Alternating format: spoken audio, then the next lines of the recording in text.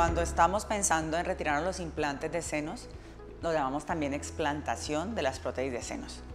Eh, yo siempre digo a las pacientes que nosotros cuando nos colocamos los implantes, pues a veces llegamos todas emocionadas y nos los ponemos, ¿cierto? Y después de unos años, muchas dicen, no, yo por qué me los puse. Y mi consejo es no piensen en eso.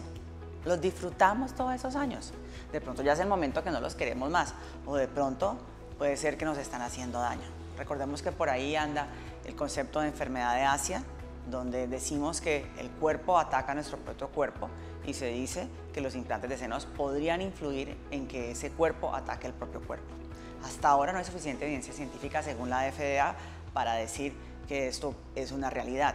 Sin embargo, muchas de las pacientes que hoy en día refieren la enfermedad, eh, pues no se sienten bien. Hay demasiados síntomas bizarros que lo encuentran por internet, desde sentirme cansada, sentirme deprimida, sentirme con diarrea, que se me cae el pelo, bueno, que tengo alergias, muchas cosas que aparecen y que no sabemos en verdad que son como síntomas exactos, sino como bizarros. Y ahí es donde decimos que podría ser también una enfermedad de Asia.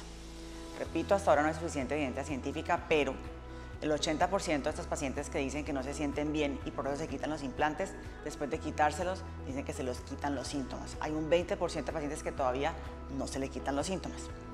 Importante en qué consiste. Bueno, entonces cuando colocamos un implante de seno siempre lo rodea una cicatriz. Y eh, obviamente cuando quitamos el implante, adivinen qué, pues debemos también sacar esa cicatriz que se llama una cápsula.